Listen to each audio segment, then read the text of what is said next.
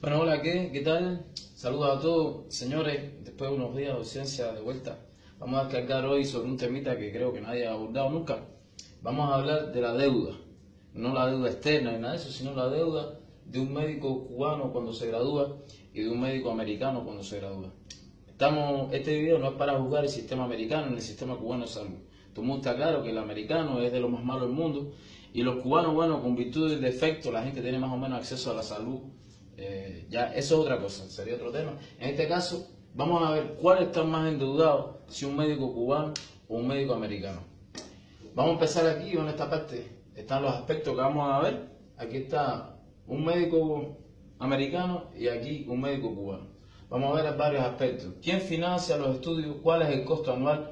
¿Duración de los estudios? ¿Cuánto cuesta eh, totalmente? ¿Cuál es el salario mensual de un médico americano cuando se gradúa? Y uno cubano.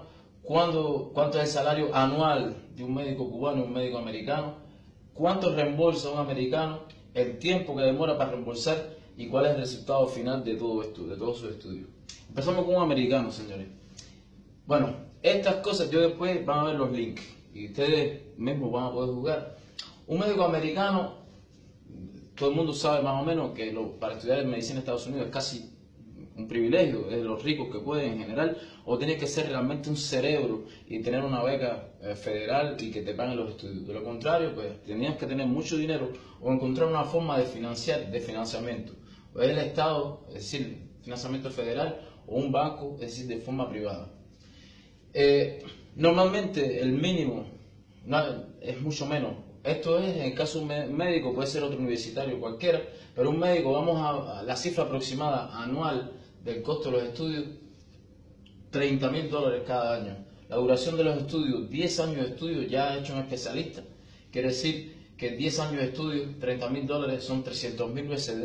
Es decir, más un cuarto de millón de dólares cuesta estudiar medicina en Estados Unidos, súper caro, evidentemente.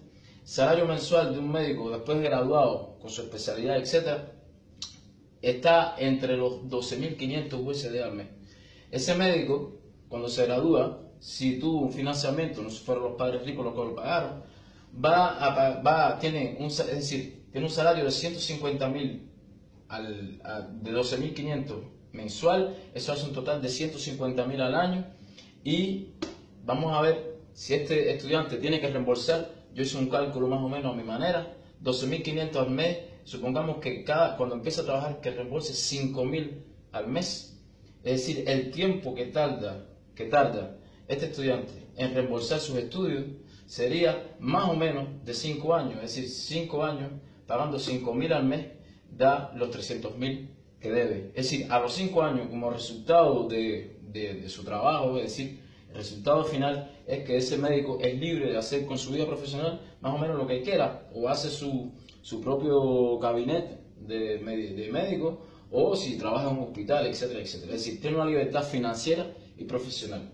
El caso de Cuba, señores, por supuesto, no, es nadie privado que, financia los estudios de este médico, es simplemente el Estado cubano, el maravilloso y eh, estelar Estado cubano, que financia al estudiante universitario que quiere ser médico. Ok, lo justo en este caso es que en Cuba, sinceramente, no hay que tener millones para estudiar. Pero vamos a ver si eso es realmente no cuesta nada o si cuesta. Digamos que un médico cubano eh, según los links que yo, le, que yo le he dado, en uno de los sitios, dice que un médico, un estudiante de medicina cuesta al Estado cubano 16 mil eh, pesos cubanos, cuban pesos. Es decir, 16 mil, vamos a hablar en USD para que sea más rápido. 640 USD cuesta un médico al año. Es decir, son 10 años de carrera, como en Estados Unidos más o menos. Quiere decir que en 10 años, 640 USD por año, eh, viene a costar su estudio en total 6.400 dólares. Ok, 6.400 dólares son 160 mil pesos cubanos y ese médico cuando se gradúa tiene un salario mensual de 60 dólares americanos. Después, ese salario mensual, si multiplicamos por 12, da 720 USD al año, lo que quiere decir que son 18 mil pesos cubanos. Ahora bien, ¿cuándo este médico, cuánto es que ese médico va a reembolsar? Señores, increíble. Estado maravilloso, el Estado cubano. Cero pesos. ese médico no debe dinero. El Estado cubano asumió todo. Pero que ustedes creen que eso sea realmente por, por, mm, por gusto, porque el Estado es realmente... No, no, no, no. El resultado de todo esto es que este médico va a ganar 60 dólares. Esto no es, no es recién grabado, ya después que lleva un tiempo. Unos 60, 65 dólares.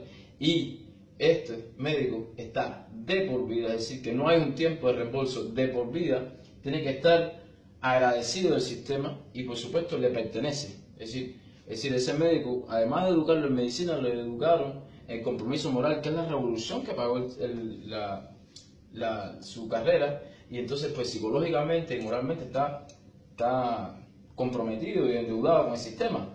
Y, por supuesto, en Cuba un médico no puede hacer una clínica privada, es decir, está condenado de por vida a, a trabajar con el sistema de salud cubano. Es decir, yo entiendo que es justo que si el Estado asume la educación, que esos médicos estén unos 10 años obligados en el sistema, pero que después de una cierta cantidad de años que haya una opción eh, para que esos médicos también hagan otra, otra cosa si quieren. Pero no, en el caso de Cuba, este médico está condenado a vivir desde que se gradúa hasta que se retira en el sistema de salud cubano sin una opción alternativa y por supuesto que está utilizado por el sistema como instrumento político porque lo envían a misiones, etcétera, etcétera, etcétera. Quiero decir que un médico americano se libera de su deuda más o menos en 5 años, quizás mi cálculo no está muy exacto, puede ser en 10 años, pero una vez que se termina eso, el médico es libre. Sin embargo, un estudiante de medicina en Cuba, pues le cuesta esa deuda, es no una deuda externa, sino una deuda eterna con el Estado cubano. Solamente eso es probar que realmente los estudios de medicina no son gratis. Es decir, este video es un complemento de aquel video que hice antes sobre que Cuba es uno de los países más caros del mundo. Eh, espero que les haya interesado. Nos vemos pronto. Chao.